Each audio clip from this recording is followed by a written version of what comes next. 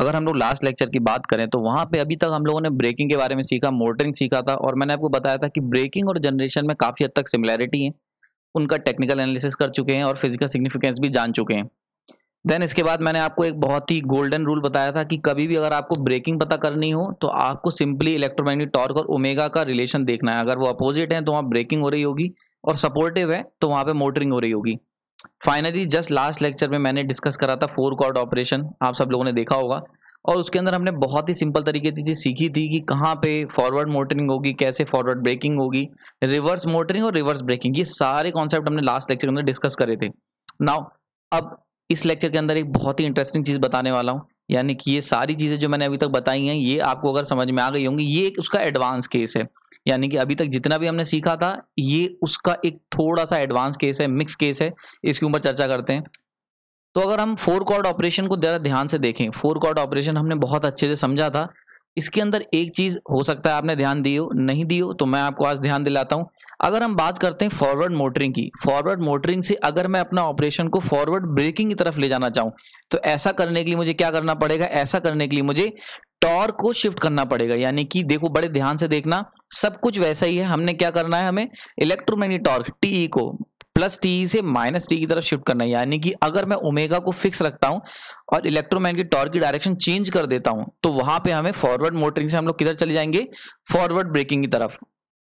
ठीक है, समझ में आ गया होगा।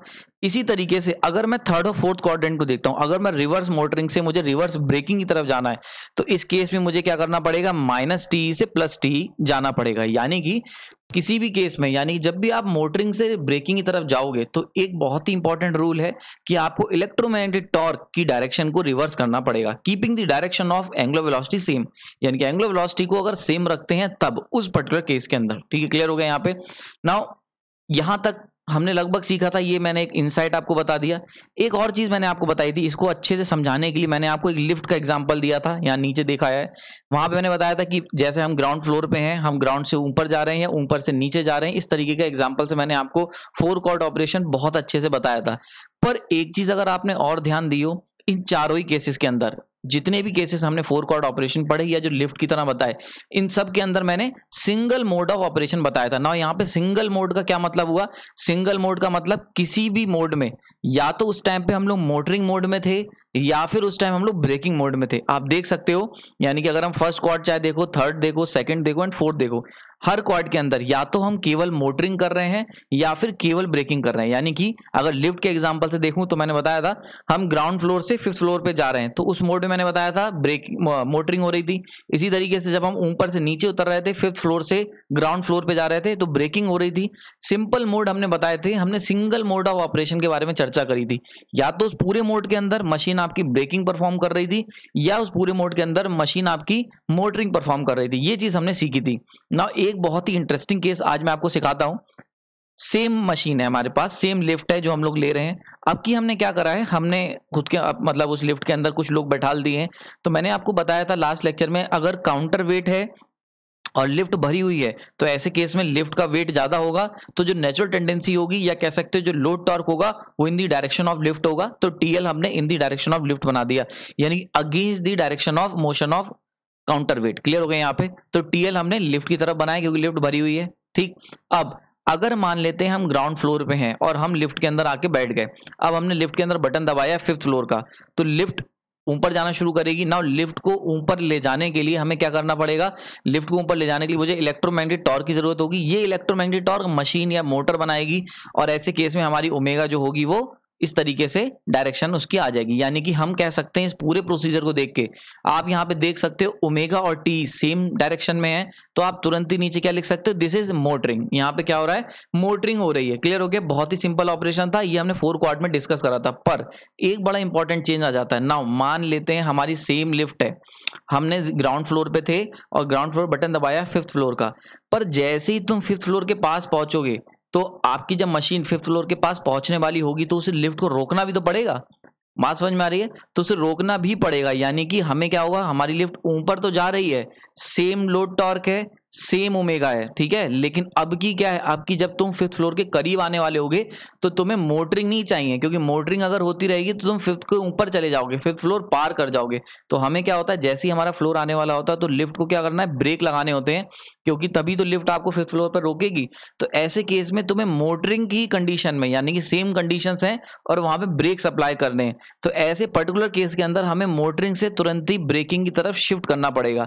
यानी कि मोटरिंग से हमें ब्रेकिंग और ब्रेकिंग कैसे आएगी? इलेक्ट्रोमैग्नेटिक टॉर्क वो चीज़ प्रोवाइड करता है ब्रेक लगाता है। तो इस पर्टिकुलर मोड को हम कहेंगे ब्रेकिंग तो सेम मोड के अंदर, यानी कि सेम मोटरिंग हो रही थी जो हमने एक ऑपरेशन पढ़े हैं सेम हमारी लिफ्ट जो थी, वो मोटरिंग की वजह से हमें ज़ीरो फ्लोर से फ़र्स्ट फ्लोर या फिफ्थ फ्लोर की तरफ़ ले जा रही थी। अब वो लिफ्ट जो है, वो फिफ्थ फ्लोर पर रुक जाए, इसके लिए मुझे क्या करना पड़ेगा? ब्रेक सप्लाई करने पड़ेंगे। तो इस तरीके के मोड ऑफ़ ऑपरेशन यानी कि जिसमें मोटरिंग हो रही थी और उसके बाद तुरंत ही उसके अंदर सब कुछ वैसा ही है, बस ब्रेक अप्लाई करने होंगे। मोटरिंग के अंदर जब आप ब्रेक अप्लाई करते हो this is what we called mix mode operation clear हो गया? बात समझ में आ रही है? तो ये चीज़ बिल्कुल समझ में आ गई होगी। ये वाला केस यानी कि जो मैंने ये ब्रेकिंग का केस बनाया, ये किसी भी फोर कॉर्ड ऑपरेशन जो आपने पढ़े, उसमें ये केस लाई नहीं करता है क्लियर हो गया? यानी कि ऐसा कोई भी केस आपको फोर कॉर्ड ऑपरेशन में देखने को नहीं मिलेगा। समझ में आ रही बात? जिसमें इलेक्ट्रोमैग्नेटिक टॉर्क और लोड टॉर्क सेम डायरेक्शन में हो जाए। तो आई होप ये चीज़ क्लियर हो रही होगी। तो क्या दिक्कत हुई? क्या अंतर है इसमें? यानी कि देखो, पुराने जो भी केस थे फोर कॉर्ड ऑपरेशन के उन सारे ही केसेस के अंदर हम लोग क्या कर रहे थे? या तो हम लोग मोटरिंग कर रहे थे, यानी कि या तो हम केवल इतना देख रहे थे कि ग्राउंड से फिफ्थ फ्लोर पे जा रहे हैं, या फिफ्थ फ्लोर से नीचे उतर रहे थे। हमने ये तो सोचा ही नहीं, यानी कि इस टॉपिक पे बात ही नहीं करी कि जब आप ग्राउंड से फिफ्थ फ्लोर पे जाओगे तो वहाँ तो ब्रेक अप्लाई कर रहे होंगे ना? कैसे लिफ्ट फिफ्थ फ्लोर पर रुकेगी जाके? तो ये वो जो मिसिंग केस था, वो ये केस है। This is what you called mix mode operation ठीक है? ये आपको जल्दी बुक्स में नहीं मिलेगा। इसकी बात की जाती है, पर जल्दी ये किसी बुक में दे नहीं रखा होता है। क्लियर हो रहा है यहाँ पे? तो ये हम कहेंगे मिक्स मोड ऑपरेशन होगा, यानी कि हम लोग ऐसा केस जिसे मोटरिंग हो रही थी और एकदम से आपने ब्रेकिंग कर ली। यानी कि अभी जो पूरे पीछे वाले केस देखे थे फोर क्वाड वाले, उसमें पूरे प्रोसेस में या तो मोटरिंग हो रही थी या पूरे प्रोसेस में ब्रेकिंग हो रही थी। क्लियर हो गया?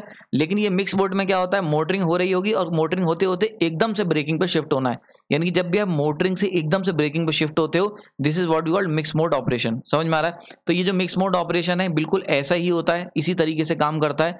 इसीलिए जैसे कि फॉर एग्ज़ाम्पल अगर आप बाइक चला रहे हो, ठीक है, और आपने बाइक चला रहे हो हाई स्पीड पे बाइक चल रही है, आपकी मोटरिंग हो रही है उसके अंदर, अब आपने एकदम से ब्रेक अप्लाई कर दिए। तो ब्रेक अप्लाई करने का मतलब ये है कि डायरेक्शन ऑफ़ मोशन भी सेम रहा ठीक है? और फ्रिक्शन यानी कि जो लो, उसमें काम कर रहा है अगेंस्ट हमारे, वो भी सेम रहा। लेकिन आपने क्या करा? आपकी जो टॉर्क जो तुम लगा रहे थे, यानी कि टॉर्क या जो कह सकते इंजन था, जो इसको अपोज कर रहा था, वो अब क्या होगा? लोड टॉर्क को सपोर्ट करने लगा एक तरीके से। तो ब्रेक अप्लाई करते हैं हम लोग। तो ब्रेक जो होते हैं, वो फ्रिक्शन की डायरेक्शन में काम करने लगते हैं। क्लियर हो गया यहाँ पे?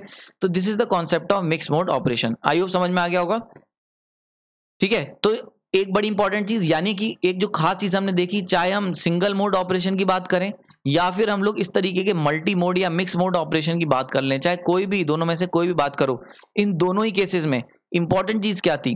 कि आपको अगर मोटरिंग से ब्रेकिंग की तरफ़ शिफ्ट होना है, यानी कि कभी भी मोटरिंग का अगर ऑपरेशन आपको ब्रेकिंग की तरफ़ ले जाना है तो आपको क्या करना पड़ेगा? आपको इलेक्ट्रोमैग्नेटिक टॉर्क की डायरेक्शन को रिवर्स करना पड़ेगा। सबसे इंपॉर्टेंट चीज़ यही है, यानी कि जब भी आपको मोटरिंग से ऑपरेशन को, मोटरिंग के ऑपरेशन को ब्रेकिंग में शिफ्ट करना है तो आपको क्या करना पड़ेगा?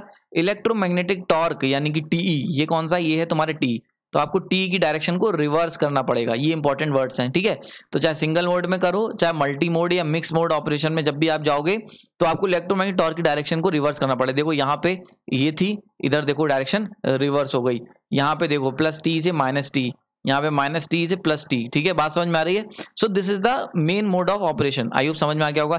इंपॉर्टेंट चीज़ एक नोट करने वाली है। ये नोट करने वाली बात क्या है? वो ध्यान रखना। कि maintaining the direction of angular velocity यानी कि एंगुलर वेलोसिटी सेम रहनी चाहिए, बड़ा इंपॉर्टेंट यानी कि जब भी आप इलेक्ट्रोमैग्नेटिक टॉर्क की डायरेक्शन को रिवर्स कर रहे होगे तो ओमेगा सेम रहना चाहिए। देखो, यहाँ पे भी ओमेगा सेम है, यहाँ पे भी ओमेगा सेम है। इस केस में देख लो, इस केस में भी देखो ओमेगा सेम है। यानी जिस डायरेक्शन में पहले जा रही थी, उसी डायरेक्शन में कंटिन्यूस जा रही है। क्लियर हो गया यहाँ पे? इतनी चीज़ समझ में आ गई। So this is the main concept I hope ये लेक्चर आपको समझ में आया होगा। ना अब ऐसा करने के क्या, ऐसे करने के तीन तरीके हैं। पहला तरीका है डायनेमिक ब्रेकिंग, दूसरा तरीका है प्लगिंग और तीसरा तरीका है रीजनरेटिव ब्रेकिंग। यानी कि वो तीन तरीके हैं जिससे मैं इलेक्ट्रोमैग्नेटिक टॉर्क की डायरेक्शन को रिवर्स कर सकता हूँ। Without changing the direction of angular velocity और इन सारी चीज़ों को हम लोग डिस्कस करेंगे जस्ट नेक्स्ट लेक्चर में, यानी कि इसके बाद जो अब अगला लेक्चर आएगा, उसके अंदर हम डायनेमिक ब्रेकिंग के ऊपर बहुत डिटेल में डिस्कस करने वाले हैं। और separately excited DC machine basically मैं डायनेमिक ब्रेकिंग बताऊँगा। और उसमें हम लोग सेपरेटली शंट एंड सीरीज़ इन तीनों मशीन को चर्चा करेंगे। आई होप लेक्चर समझ में आएगा इस लेक्चर का, इस लेक्चर को बनाने का मेन मकसद था कि आपको एक ऐसे ऑपरेशन की तरह बता सकूँ कि एक सिंगल मोड के अलावा मिक्स मोड भी होता है। बहुत लोग मन में डाउट ऑलरेडी होगा। कि जब लिफ्ट हमें लेके ज़ीरो से फिफ्थ फ्लोर पे जाएगी तो वहाँ पे तो उसे रुकना पड़ेगा ना और वो वहाँ पे ब्रेकिंग करनी पड़ेगी। सो so, ये तो फोर कॉर्ड ऑपरेशन में ऐसा कोई भी केस नहीं है। So this case I hope आपको समझ में आ गया होगा। आपने अपना कीमती समय दिया उसके लिए धन्यवाद। और आने वाले लेक्चर के अंदर हम लोग ब्रेकिंग के और डिटेल कॉन्सेप्ट सीखेंगे।